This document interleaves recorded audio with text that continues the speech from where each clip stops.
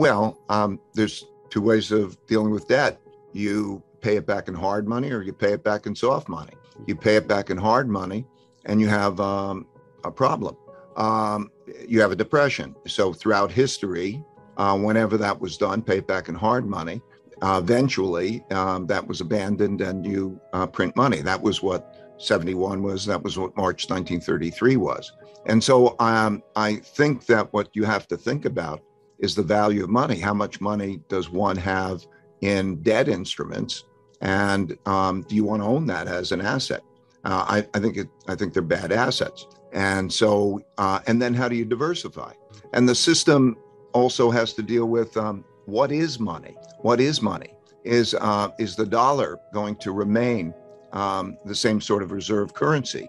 Um, and then you see the development of alternative monies. We're seeing a variety. I think different types of money will compete with each other in the environment we're in. Um, some maybe it's um, crypto, maybe it's uh, maybe it's gold, maybe it's um, other things. Uh, maybe the digital RMB competes with um, the U.S. dollar. We're going to come into an environment because everybody thinks that there's think about how much money is being stored in debt instruments, those debt assets. Think about how poor those returns are. So that kind of a shift, I think, is very important. All currencies have a lot of debt. And so when you look at one relative to the other, there will be a lot of printing. I mean, currency equals debt. And when you hold a currency, you're holding a debt instrument. And so all of those will um, decline in value relative to other things. Now, will the dollar decline more than other currencies? It's almost certain that we're going to come into this environment. We're in this environment in which there's a shifting of the, those currencies. Um, so you're going to see more of China's renminbi being used. You're seeing it, uh, India have a direct link uh, with Russia on the uh, currency. So we're an important change in the currency. But how that is a store of wealth is a different question. So, uh, a, a, currency is a medium of exchange and a storehold of wealth. And its storehold of wealth um, is now a problem, particularly for the dollar, but it's also a problem for other countries. So, that's why you have inflation. As money goes into other things, and the, and the cost of borrowing is so low relative to the inflation rate then it encourage, encourages the borrowing of money and the, and the sale of money. In other words, not holding financial assets like that. So that's, yes, I think you're changing the nature of what money is and what the dollar is as a storehold of wealth.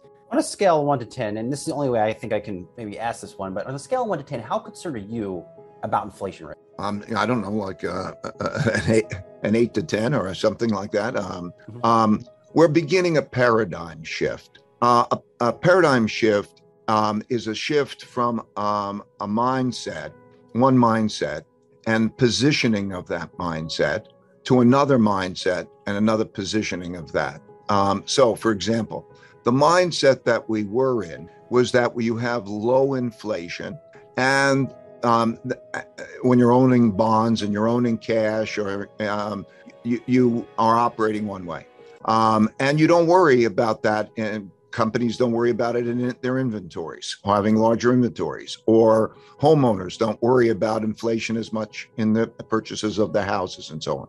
Once that shift begins, it causes a reinforcing dynamic.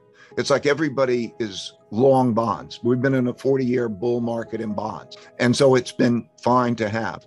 And when that shift starts to take place, you see behavioral shifts that reinforce that cycle in the paradigm. So, for example, when there is the selling of bonds, that it makes it more inflationary in and of itself because the amount of debt that has to be sold is not just the deficit, but also the amount of debt that's being sold is those bonds. So now interest rates have to rise a lot, or the Federal Reserve has got to come in there and buy more. And then you get uh, wages. People make wage settlements that um, and such things. So a paradigm shift is beginning to take place, and that will be also self-reinforcing. And it's taking place in uh, this context of the conflict, which uh, then creates the breakdown of um, efficient systems. Each country wants to be self sufficient. It needs to to protect itself. And in being self sufficient in that way, then you have less efficiencies in the system. Um, and all of that becomes self reinforcing. Before we continue, help us clicking that YouTube like button and subscribe now to our channel. This shows the algorithm that you valued this information. And it helps us spread that message. Sharing is caring. And now, let's continue. I have bad news for you. If you're not rich by now, you're screwed. And if you're in debt, you're even double screwed. How so, you might wonder? Well, the sad truth is that you're working your whole life to make someone else rich. The mega corporations, the banks, the politicians, everyone is getting richer. They get your money. And what is even worse, they get your time, they get your life.